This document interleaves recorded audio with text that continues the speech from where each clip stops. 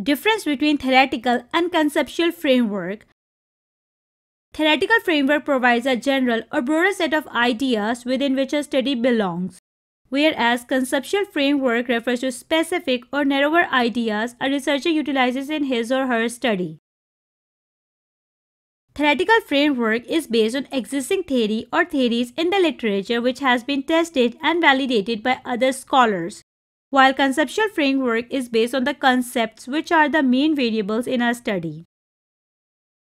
Theoretical framework is in the form of a model that pivots a study with its exponents and the results of their studies. Whereas conceptual framework is a researcher's own constructed model that he uses to explain the relationship that exists between the main variable in his or her study. Theoretical framework is well developed, designed and accepted whereas conceptual framework design is not accepted but it's a proposal of the researcher's answer to the research problem he has defined. Theoretical framework offers a focal point for approaching the unknown research in a specific field of inquiry, while conceptual framework is the framework that shows logically how the research inquiry is to be undertaken.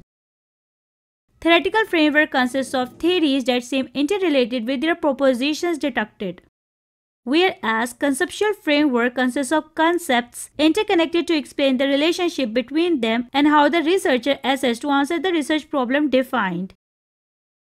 Theoretical framework is used to test the theories to predict and control the situation within the context of a research inquiry, while conceptual framework is aimed at encouraging the development of a theory that would be useful to practitioners in the field.